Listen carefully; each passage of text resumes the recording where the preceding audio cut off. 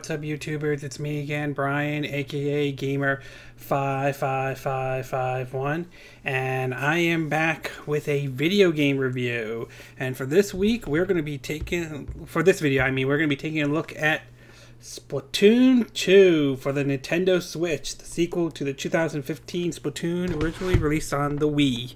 I mean, Wii U, though. Um, Splatoon was an interesting game when it came out back in 2015. Um, it was sort of a interesting and different take on the whole multiplayer shooter genre, where the whole idea, instead of taking out your oppo- your opponent's team, although you could still you could do that in Splatoon and kind of slow them down a little bit. The purpose of it is to cover as much territory with your team's ink as possible. So it made for an interesting and a fresh, different take on the idea of uh, of the whole multiplayer shooter though. And despite being released on the Wii being released on the Wii U, which by that point it was sort of going downhill after it was clear that the Wii U was not going to be a success, the game did pretty well. I mean, from what I understand, it sold over sold about 1 million copies sold, and it did, definitely got some high marks, though, for some people. So it may have not officially saved the Wii U, but it offered something new and something different. Even if it, I didn't feel it take as took as much advantage of the gamepad as it originally did, though. That said, though, so it was announced that there were thoughts that many people suspected that the Splatoon game that was going to be brought to the Switch was maybe a port of the first one, but surprisingly, when they showed the Switch presentation off in January, it turned out to be a sequel which is a bit surprising. And yet, here we are in in July, near the end of July though, and Splatoon 2's out, and it's certainly doing well. So, what my what are my thoughts about it? Well, I certainly like it and certainly enjoy it, even if there's one area I do have concern with, especially with future Switch titles should they ever come to the Nintendo Switch. So why don't we get started with the pros or cons? Let me get my notes out if I can find them. Okay, here we go. So why don't we get started with the pros? Uh, first pro, of course, is the visuals, and I have to say, like the first one, graphically speaking, the game looks good. Um, I like the art style. Um, it runs um, at a smooth. I think when, especially when docked or in console mode, it runs at a good 1080p. Uh, drops to 720p when basically um, in in you know um, portable slash um, tablet mode. Um, it also yeah yeah it and it runs at a good 60 frames per second, at least based on my time with it. Single player it runs fine, and even in multiplayer, it runs perfectly perfectly fine right there. One little concern about that one is that, at some reason, when you're in the game hub, though, the Inkopolis, it runs at 30 frames per second. But that's, but other than that, everything else is everything else I believe runs at a good 60 frames. But overall, visually speaking, the game does look nice.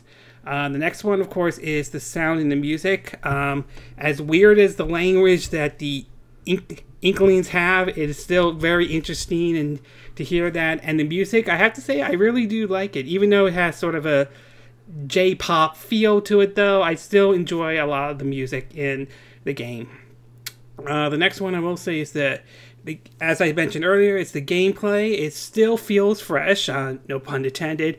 Even though this is a sequel, I still like the concept and the idea that it's sort of a different approach to the traditional multiplayer games. Even though I'm not big on multiplayer games, and even though I don't have anything against those who like online multiplayers or anything like that. I like the fact that this is sort of a different take. It's its own different kind of a game. So the whole concept, the whole cover your ter- cover as much territory as you possible with your team's ink, though, it's still very interesting, very interesting and neat idea for a mo- online multiplayer game. And finally, last but not least, is I will say the single player and multiplayer modes are fun. I mean, outside of the PvP, which is player versus player, you got a campaign mode, which is which is actually pretty fun. I like the idea. It's a mixture of a shooter to some degree with a little bit of platforming. Um, they did change it up a little bit this time around. I think now you'll get different weapons and all for each level in in each level rather than I think sticking with just one weapon or anything like that, like it was in the first one. And I will say this: my the multiplayer multiplayer mode that I like the most in this game is the salmon one, which is a four player co op where you and your team work together to collect these salmon eggs from these like salmon, salmon enemies and everything else and drop them off at a certain spot. So it's sort of like a horde mode and so on, but to me, it's one of my favorite modes in Splatoon 2. okay, um, we're going to take a little bit of a break when we get, when we get back.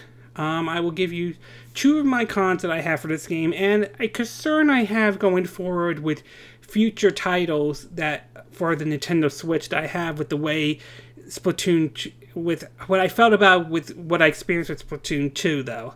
Um, it's not a huge negative, but it is somewhat of a concern I do have, at least for me though. So we'll take a little bit of a break and we will be right back.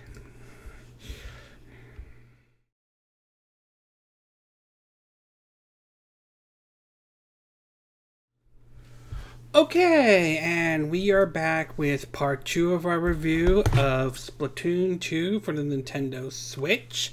Now that I gave you the pros, or at least the pros I thought were great about the game, why don't I give you the cons now? And there are really only two cons I could think of for Splatoon 2. So why don't I get my notes out again? There we go. And my two concerns, my two cons I have with the game is that certain areas of the game are kind of locked out until you reach a certain level in um, in sort of the P player versus player, you know, multiplayer mode.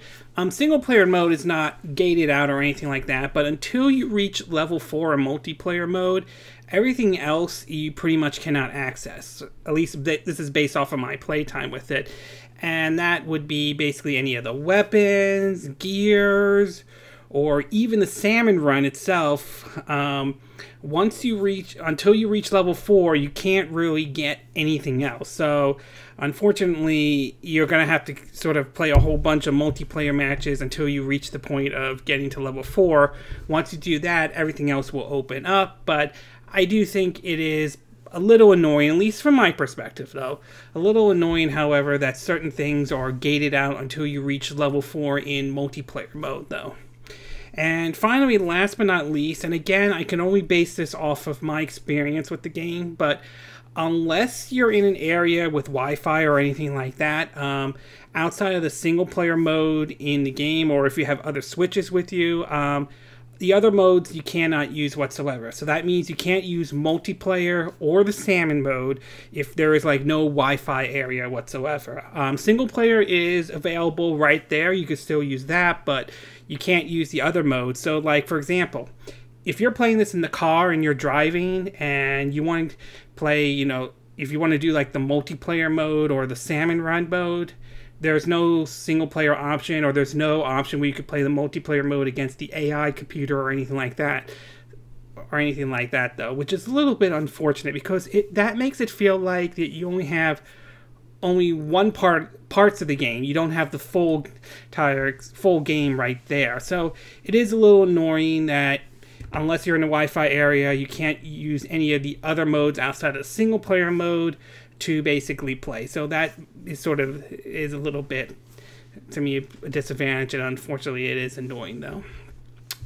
Overall, um, Splatoon 2 is still a fun game, nevertheless. Though um, the I love the art style, I love the music in the game. Um, the gameplay is solid, especially the single player with the mixture of the shooting and the plat- platform elephant platform element. I, I, think I may have said elephant by mistake. My bad.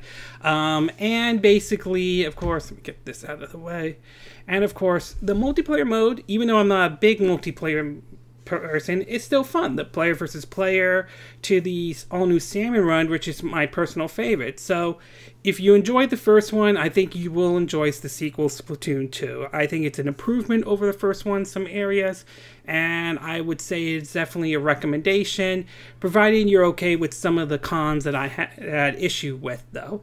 But overall, a good game indeed, and it's worth checking out for the Nintendo Switch.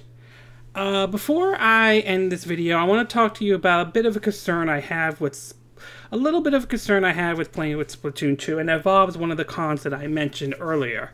Now, I said about how unless you're in a Wi-Fi area that you won't be able to access all the features or anything like that. Now, many would argue and say, well, of course, this is an online game, and that's true, that's true, but my counter argument would be if you look at Mario Kart 8 Deluxe when that came out back in back in April though, pretty much all the modes were available. I mean, like battle mode, you could play that on single player against the AI computer. I mean, it may not be the same as playing against other players online, but you could still play that mode right off the bat. The fact that only the single player mode is only available and every other all the other modes are not when you're not in an area with a Wi-Fi or you're not hooked up online or anything like that does kind of bother me a little bit because it does raise concerns about to me it raises concerns about certain titles should they ever come to the Switch. Like let's say for argument's sake, say Overwatch were to come to the Switch. Now, I got no issue with Overwatch coming to the Nintendo Switch or everything or anything like that. I got nothing against the game. My big concern is should Overwatch ever come to the Nintendo Switch due to the fact that that's an always online game that could be a problem bringing to the Switch, mostly because the Switch is sort of advertised as this is a console you could bring with you on the go, or a portable console if you want to look at it that way. And since that that's an always online game, that could be a problem where you won't be able to play it if you're like on a plane, unless the plane has Wi-Fi and when you want to use the Wi-Fi off the plane, which, from what I understand, can be very expensive to do.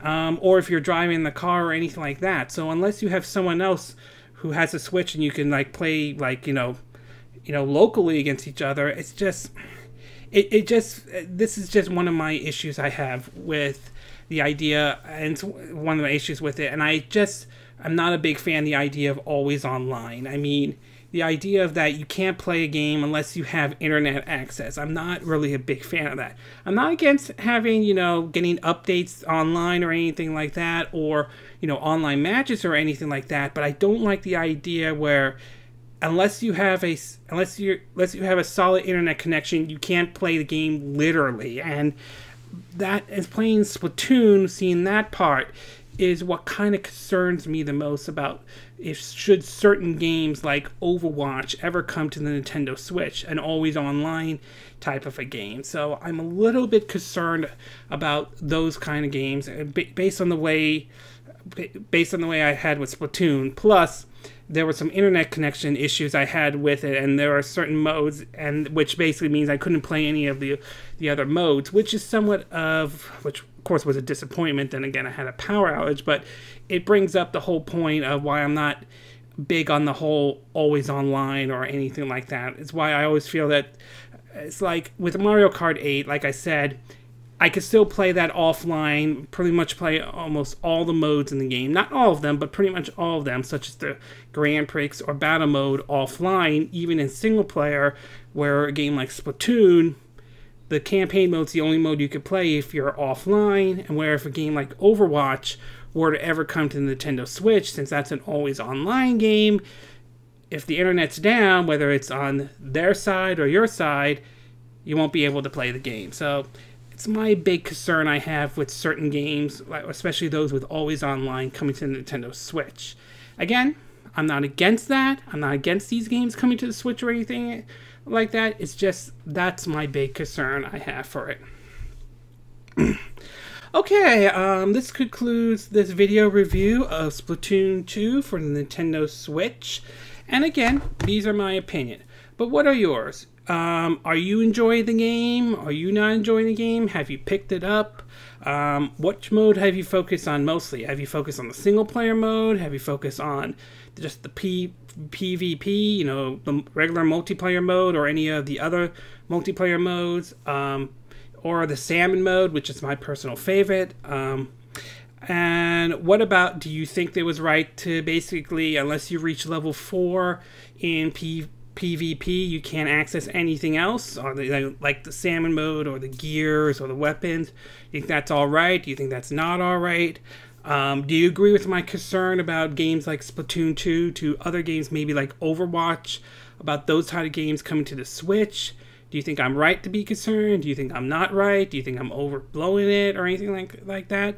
Um, do you agree with my review? Do you disagree with my review? Do you have a different take? On what I said. Um, as always, sound up on the comments section below. Let me know what you think. And I hope you hit that like button as well. And I also hope you do subscribe to my YouTube channel. Also, feel free to share this video if you want to. And if you wish to donate to my channel, you could do that either through PayPal me or through Patre- or Patreon. Links will be in the description of this video. Um, it's evening in Southern California, so I'll be getting myself ready for bed soon. And I will see you again next time when I do another video. Hopefully that will be soon. Until then, from Southern California, I wish you all a, a good evening then. Bye.